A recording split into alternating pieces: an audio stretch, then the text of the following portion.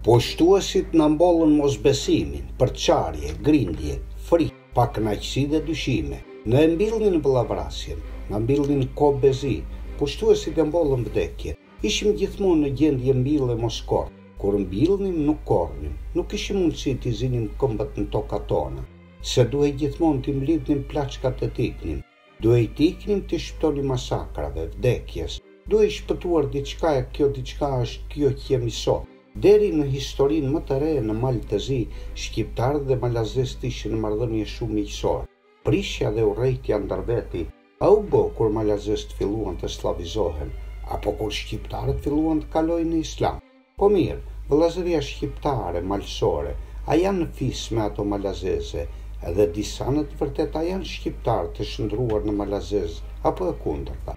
Le të kthehemi në të kaluarën e largët kur këndej nuk kishte as serbë e as turq. Shqiptarët janë pasardhës të drejtpërdrejtë dhe si këtillë janë autoktonë që nga kohët e lashta.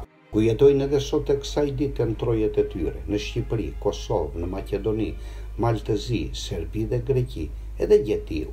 Në asnjë dokument nuk ka shënime për ekzistencën e serbëve në këto troje, në atë kohë. Duke bërë fjalë për banorët e pronave të Manastirit të Deçanit, Manastirit të Graçanicës, Patriarkanës së Pejës, etj.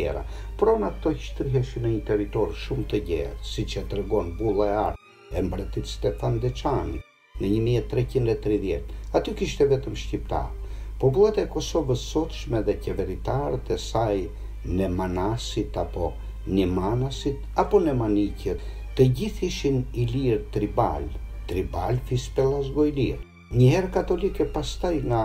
Milutini e këndej skizmatik, domethënë shqiptar ortodoks, dhe se do të jetë plotësisht e natyrshme që edhe kishat dhe manastiret e këtij ambienti gjeografik, si institucione të shenjta fetare të kësaj popullate shqiptare dhe të sundimtarëve të saj, të jenë ndërtuar nga ata, dhe ato u takojnë atyre.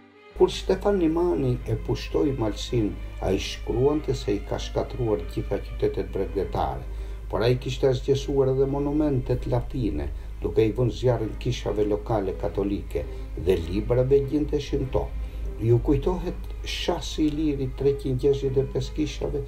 Zonja Edith Durham në vitin një mijë e nëntëqind e njëzet e tetë në Londër shkruante se gjatë qëndrimit të saj në këtë pjesë të Ballkanit gjatë vitit një mijë e nëntëqind e trembëdhjetë, nuk ishte e lejuar që vajzat e Drekaloviqëve të martohen me djemtë e Kastratëve, se janë të një gjaku. Rreth vitit një mijë e pesëdhjetë e katër u bë ndarja e madhe e Kishës së Lindjes, Si rezultat i mospajtimit mes Lindjes e Perëndimit, shqiptarët që iu bashkangjitën skizmit, më lehtë e patën të përvetësohen nga Kisha e tyre ortodokse. Pra, në atë kohë kishte shka shqiptarë ortodoksë, ende i pasllavizuar, dhe serbë kurrkush i ardhur. Stefan Nimani ose Nemaniqi kishte lindur afër Podgoricës, kur nuk kishte prift ortodoks dhe u pagëzua me ritet perëndimore katolike. Nga fisi Nimanaj i Gashëve rrjedh Stefan Nemanja, mbret i shqiptarëve, serbëve, vllehëve dhe grekëve, pra i Bizantit. Stefani ishte kushëriri i parë i princit shqiptar Dhimitri, që njihet si themelusi i derës së Dukagjinëve. Stefani është i varrosur në manastirin e Hilandarit në Greqi, në Malin Athos. Edhe në varr është epitafi me shkronja greke, si Stefan Nimani, e jo Nemanja. Po, si ndodhi, që Malësia të bëhet Mal i Zi, pra shqiptarët të krijojnë Malin e Zi? Të flasim më konkretisht, kush janë Berishajt? Berishajt i takojnë grupit të fiseve Puka, dhe janë të parët në vendin e tyre në jug të fisit Krasniqi dhe Shala. Sipas gjermanit Franz Nopcsa, shenjat e para të fisit Berisha mund të gjindhen Që prej vitit një mijë e dyqind e shtatëdhjetë. Nga këta Berishajt lindën shqiptarë ortodoksë, shkijet, Drekaloviq, Kuqi dhe Gruda. I pari nga shkijet ishte Ndreu, Drekaloviqët ishin të afërm edhe me Kastratët. Fisi i Malësisë Vasojeviq ishin nga fisi ilir Kelmendi. Shënimet tregojnë që edhe gjuhëtari serb Vuk Karaxhiq ishte nga Malësia me prejardhje. Por edhe dinastia e. Karagjorgjeviçëve e më saktë edhe mbreti Petar Karagjorgjeviç ishte me prejardhje shqiptare, pra ishte malësor. Është i njohur Mark Milan Popoviqi, armiku dhe asgjesuesi më i madh i qenies shqiptare në malësi, si Napoleon Zerba në jug, me çamët. Që ai shkruante për sllavët, që ai kishte dy gjuhë amtare, serbisht dhe arbanisht. Si ishte mundur që ai thoshte që gjuha mëmë e tij ishte arbanishtja? sepse ai i dinte rrënjët e tij dhe të fisit të vet. E dinte shumë mirë që në fisin Kuç ishin përzier gjaku sllav dhe ai arbanas. Në këtë përzierje dhe në këtë farefisni të fiseve arbanase dhe malësore, ka qenë e ruajtur tradita e gjallë e martesave. Shqiptarët ortodoksë të Vrakës janë arbanas dhe malësorë të përzier, që nuk kanë aspak lidhje me serbët. Rol tjetër asimilues të arbanasve të Malësisë kishte edhe turku. Me ndërrimin e fesë në Sanxhakun e Novi Pazarit, shqiptarët e humbën edhe gjuhën e tyre. Ndërkaq te enciklopedia e parë në Turqi e Sami Frashërit, ai shkruan se në këtë sanxhak në përgjithësi popullsia është shqiptare. Vetëm një pjesë e popullatës së kazave të Gucisë e Beranës flasin sllavisht. por dinë edhe shqip. Dinë shqip se ishin shqiptarë dhe nuk dallohen nga shqiptarët për nga doket e zakonet. Pra në veshje, doke dhe zakone ishin njëlloj. Por si flitej në atë kohë kur zyrtarisht pranohet se gjuha malazeze zyrtarizohet pas gjysmës së parë të shekullit nëntëmbëdhjetë? Sigurisht që flitej shqip. Humbja në gjirin sllav ishte e pakthyeshme si humbja në gjirin turk e grek. Por, kur jemi te malësia, këto ndërrime të fiseve nga e folmja shqipe në atë sllavishtes, nga Gjuka, Gjukiç, Gjukanoviç, Boja, Bojoviç, Bojiç ose Bojku, Bojkoviç, Gashi, Gashiq, Gashanin, Berisha, Berishiq, Burri, Buriq, Shoshi, Shoshkiq, Shala, Shaliq, e kështu me radhë.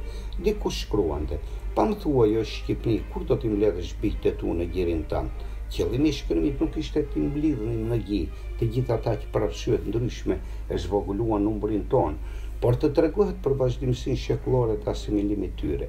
E pse ata në shumë raste ishin armiq tanë shumë të rrezikshëm dhe shfarosës? Fajet janë të shpjegueshme. Se shqiptarët janë ushqyesit më të mëdhenj të fqinjëve tanë. Kjo është e dokumentuar. Se shqiptarët janë edhe formues të shtetit të fqinjve. Kjo është më se e vërtetë. Në rrethin tonë fqinjësor që nga Mali Zi, Serbia dhe Greqia, shqiptari ishte faktori kryesor shtetformues. Në kohën e largët, disa shekuj apo disa dekadash, ne jemi ata që në mënyrë direkte apo indirekte i formuam këto shtete. Kush ndikoi që shqiptari të mohojë vetveten dhe të vihet në krye të formimit të shteteve fqinje? Si dhe pse u zhvilluan rrethanat? Që shqiptari të bëhet edhe vrasës i vëllezërve të vet, edhe pushtues i tokave të veta në Serbi dhe Kosovë. Nga trungu shqiptarët kanë qenë. Edhe politika favorizuese e turkut që i ka bërë. U ka bërë sllave nën presionin rus, për zhdukjen e elementit katolik shqiptar. Pra, nuk mbetej gjë tjetër për ne, ose sllav ose muhamedan. Ishim gjithmonë në gjendjen mbill e mos korr. Kështu shkruan autori Odise Çaçi në publikimin e Forum Pikal. Por, mos na duket çudi se miliona shqiptarë ortodoksë të Malit Zi, Serbisë, Maqedonisë dhe Greqisë e humbën kombin për shkak të fesë, sepse e njëjta gjë ndodhi edhe me miliona shqiptarë myslimanë, që për shkak të fesë e harruan shqiptarinë, si Sanxhaku i Novi Pazarit dhe shqiptarët e Turqisë. Mjafton të kujtojmë. Ljeshanska Nahia, që do të thotë Nahia ose Krahina Lezhjane, sipas gojëdhënave tre vëllezër ikën nga Lezhja prej zullumit turk dhe u vendosën këtu pranë Podgoricës. Një fshat tjetër quhet Progonoviq, që të kujton mbiemrin e princave arbër, Dhimitër e Gjin Progoni. Malazezët ishin jo vetëm arbërorë, por balli i luftës arbërore, qëndra e atdhetarizmit arbëror. Aty u zhvillua kryengritja më e ashpër kundër sundimit serb, kryengritja e vëllezërve Dhimitër e Bogoje Suma. Po, nëse shikojmë gjenealogjinë e fiseve malazeze, shohim se secili fis i tyre rrjedh nga një stërgjysh shqiptar, i martuar me një vajzë serbe.